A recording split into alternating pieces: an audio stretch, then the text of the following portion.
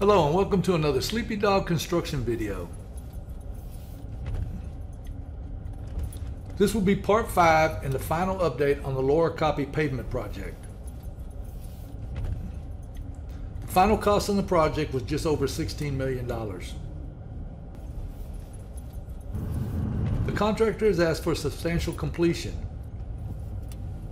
This means the contractor has almost completed the project and the remaining work will be put on a punch list. All of the concrete pavement, sidewalk, driveways, water main, sanitary sewers, transitions, and striping has been completed. The new roadway is 45 foot wide from back of curb to back of curb. The road also has a 5 foot bicycle lane on each side of the roadway.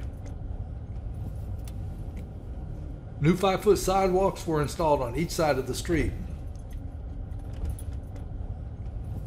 There's a small amount of grass to be installed and streetlights have been ordered. The streetlights will be placed by another contractor. The contractor also installed nine Metro bus pads throughout the project. Metro will install the benches and the sheds at a later time. There are about 100 trees to be planted at a later date. It is much too hot to plant the trees now. The contractor also built three detention ponds to help prevent future flooding. All the street signs are in place.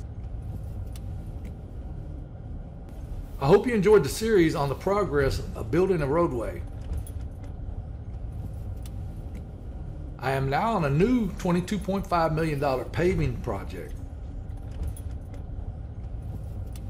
I will be posting updates on that project as well. Thank you for watching and don't forget to like the video, leave a comment, and subscribe to the channel so you'll be notified of future videos. And don't forget to watch the next video on crazy things I saw on this project.